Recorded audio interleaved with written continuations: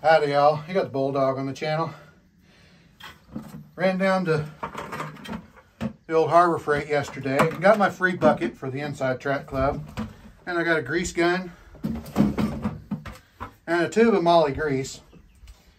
I'm going to grease the spindles on this tractor here. And I got to get out and get my yard mowed. I got the first mowing done less than a week ago, which is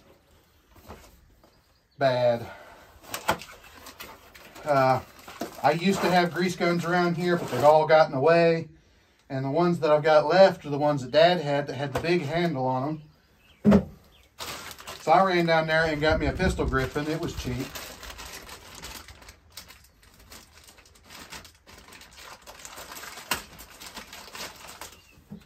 I thought I was going to have to run by Tractor Supply, but turns out they've got grease too. So I got it in one stop.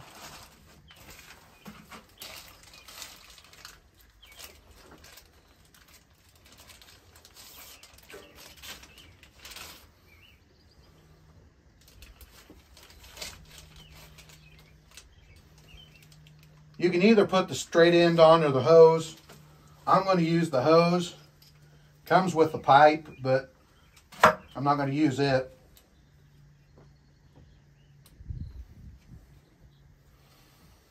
I don't have any wrenches up here, so I'll use my awl wrench and my monkey paws. I might just go ahead and put the grease in here first.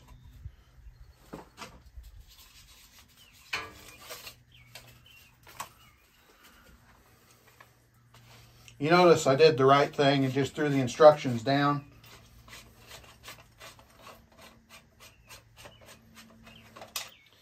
I'm sure they tell me all the ways how to do it. They probably don't work.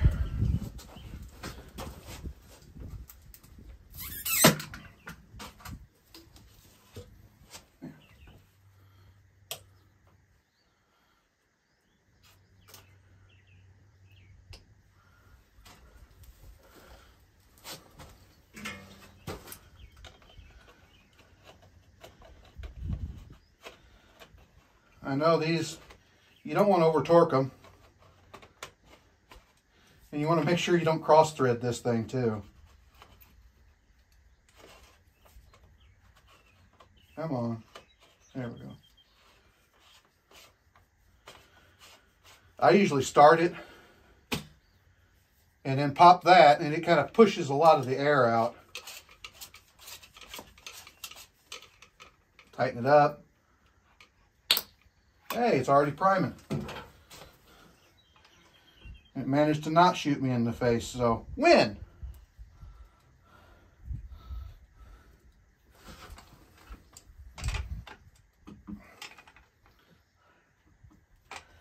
All right, we're gonna grease this deck here real quick before we take off and mow, and I gotta fill it up with fuel too.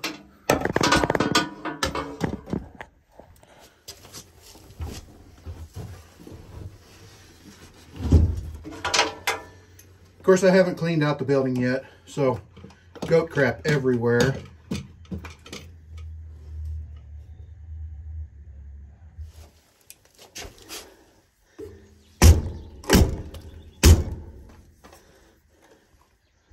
There we go. Now it's primed.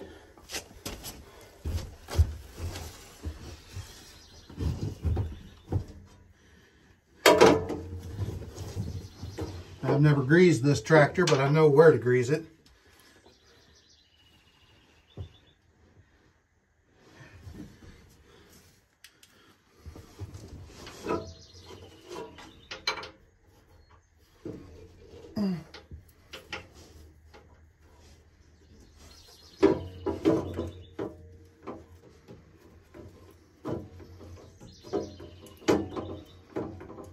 Okay.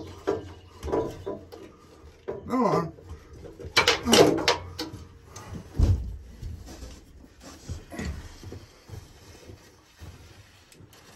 I'll get them other two spindles and we'll fill it up with fuel. Okay, now since I'm parking the tractor up here, I'm just gonna hang the gun right there. My boss told me that I, my boss told me that I needed to grease at least those three spindles every mowing. But I mow about a third as much as he does, so I'll probably grease it every other time. But this last one was a heavy mow because I'd never mowed this year. We had to rebuild this tractor. Uh, he bought that little John Deere and this one had the belly gears stripped out of it. Well, it took us years to get those belly gears. We got that done here uh, this winter. And then this was sitting in the back of that red S10 you saw in the background in some of my videos. Because we had pulled it off of there, had to move it for the flood and all that kind of stuff. Well, we took it back and he completely went through it, fixed the front end where it was rusted out, new blades, painted it all up, had to tube bore that out and put a bushing in it because that wheel was flopping and you always turn left because it's a it's a race tractor. You, know, you always turn left. So that was the one that always tried to wear out. So we drilled that hole out right there and put a bushing in there. And now we got a bushing inside there and it'll, uh, next time we wear it out, we can just replace that bushing. But this is a nice little rig. 1210 Ford. Got the little diesel engine. We're gonna fill it up with fuel now. It's still got just a little bit of fuel in it that has some power service in it from this winter. So I ran it way low last time. Not because I didn't have any, not because I used up everything I had when I did the yard out there, but, and yeah, it's still a freaking mess. This is used to be the goat pen. And everybody threw their junk in the goat pen, and now, yeah, grass is growing up through it, and I, am not mowing it because I don't know what's underneath all that grass. The last thing I picked up was right here, so I could get the tractor through here, and I had a, you know, a self-mobile spicy rope that was, you know, trying to wrap around my legs, so I moved everything and just, we will let somebody else deal with that. Yeah, I'm doing the mowing. You do the preparing. Just don't do that while I'm out there. Kids and parents, don't have anybody out there when you're mowing. I've taken out a window on my house, window on the Trans Am, window on the Beetle, and I am careful about where I point the thing. So things can go wrong. Just FYI.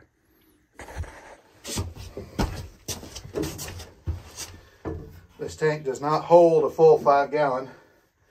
So I'm going to have to stop it.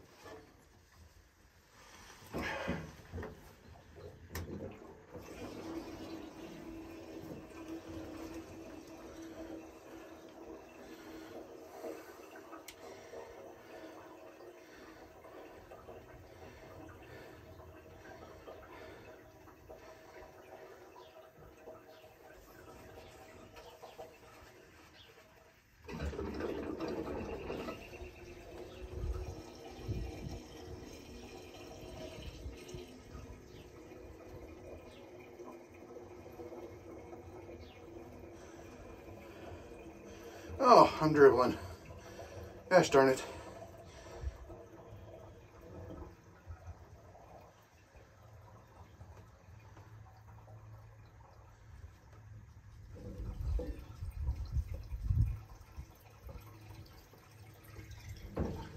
There we go. Oh boy.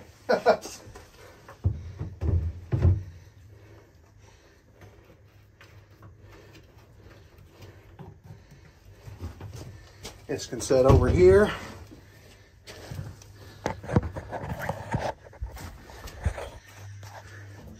How do you like that? Just about right, isn't it?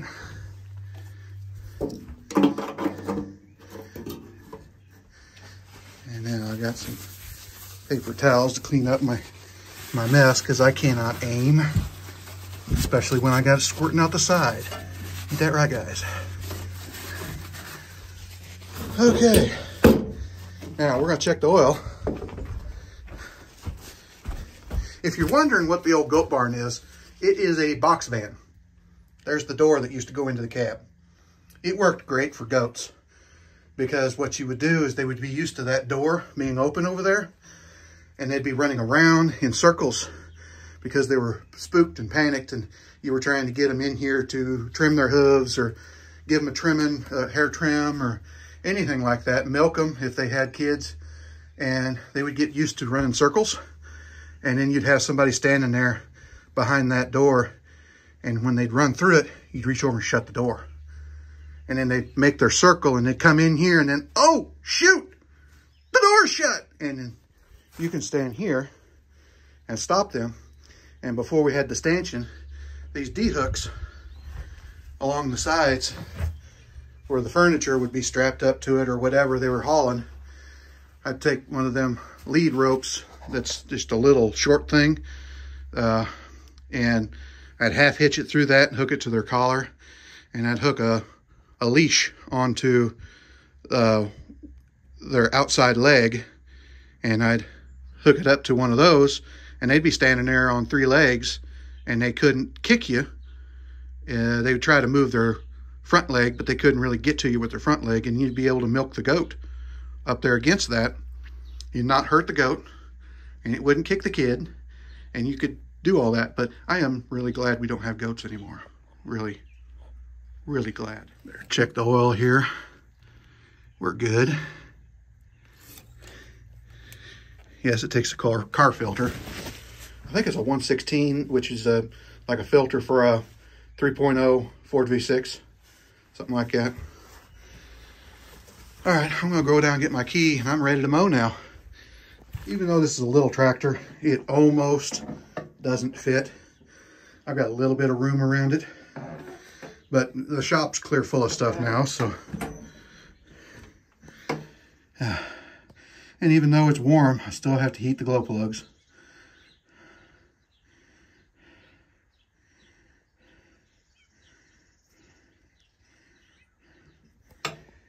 Custom gauges too. Got Frenched in there and painted to match and all that kind of stuff. There, we're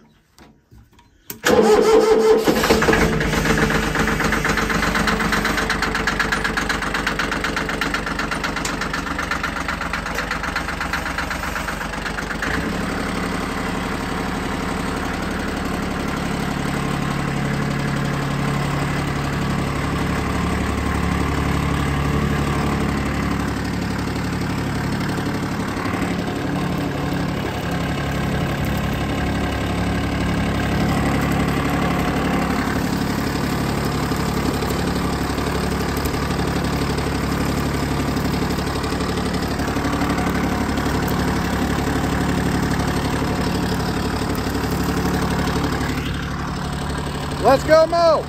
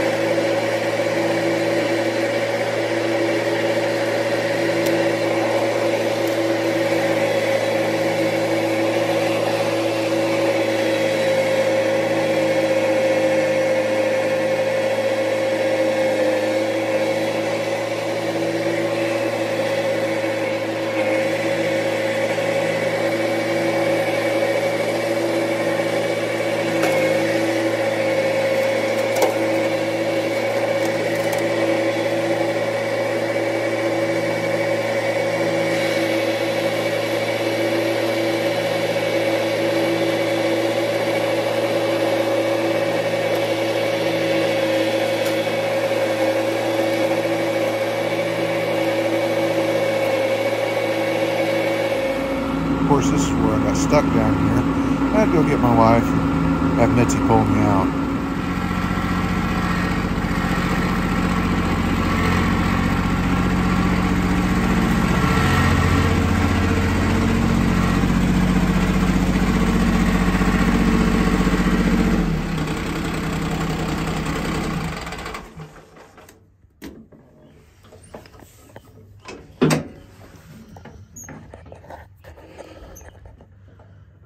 Okay, I got it done before the rain come, which that's kind of what I was worried about. It's supposed to have a chance of showers, maybe. Uh, I was so busy last week, I didn't get any automotive content done. That's kind of why I'm doing this. I mean, I was going to go ahead and move everything around. All those vehicles out there that I have to mow around, they're all going to get moved, but it didn't work out this week. So I'll probably be doing that next weekend.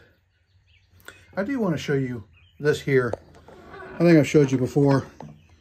These little Harbor Freight floodlights that we put on it.